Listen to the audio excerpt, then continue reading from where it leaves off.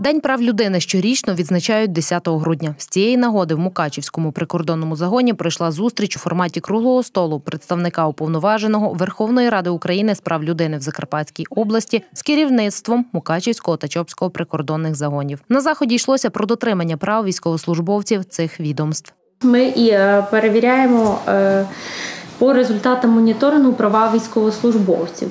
Це- тих, хто у вас працює. Тобто це стосується і грошового забезпечення військовослужбовців, це стосується і продовольчого забезпечення, це стосується створення належних умов для виконання військовослужбовців своїх посадових обов'язків та е, покладених вами на них завдань. В ході зустрічі представник уповноваженого Верховної Ради України з прав людини в Закарпатській області назвала прикордонникам питання, на які треба звернути увагу задля повного забезпечення дотримання прав військовослужбовців, і які невдовзі перевірять без попередження, навідавшись у загін ще раз. Перше це матеріальне грошове інші види забезпечення у визначеному кабінетом міністрів України обсязі за отримання допомоги на вирішення соціально-побутових питань у 2000, ну, наступному році, там у 2020-му. Далі заборгованість з виплати військовослужбовцям об'єктів моніторингу добових коштів, витрат на проживання та проїзд.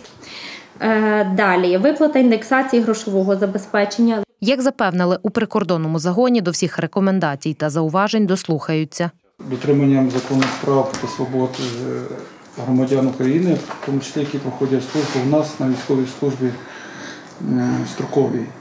І не тільки строковій, у нас є військовослужбовці за контрактом.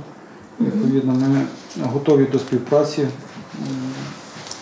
Як командир Мукачівського загону запевняю вас е, на нормальну плідну роботу в цьому напрямку. Ще одним питанням зустрічі, звичайно ж, стало дотримання прав людей в пунктах тимчасового перебування. Прикордонники продемонстрували журналістам умови, в яких утримують нелегальних мігрантів, які намагалися потрапити до ЄС.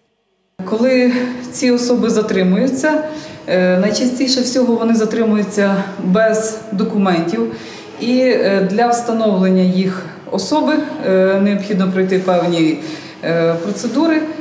На цей час е, вказані особи поміщаються ось такі от е, пункти тимчасового перебування осіб, е, де передбачені окремі кімнати для чоловіків, для жінок, для жінок, які затримуються з дітьми. В Мукачівському прикордонному загоні пункт тимчасового тримання розрахований на 16 осіб. Тут є все необхідне для їхнього перебування: їжа, одяг, взуття, медикаменти, засоби гігієни і спеціально облаштовані кухня, душова, вбиральня, місце для прогулянок тощо. Термін їхнього проживання тут до тижня. Найчастіше це три дні, протягом яких прикордонники отримують всю необхідну інформацію, і наступним місцем їхнього утримання стає пункт тимчасового перебування іноземців. А далі частину видворять.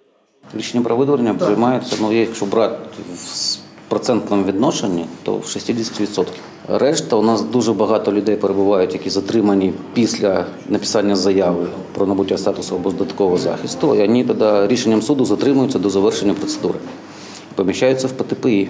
У нас Волинь, Чернігів, Одеса, Миколаїв. За 9 місяців 2019 року в Україні затримали 2060 незаконних мігрантів, з яких 830 за спробу незаконного перетину кордону, понад тисячу за порушення правил перебування. Нашу країну вони розглядають здебільшого як транзитну зону.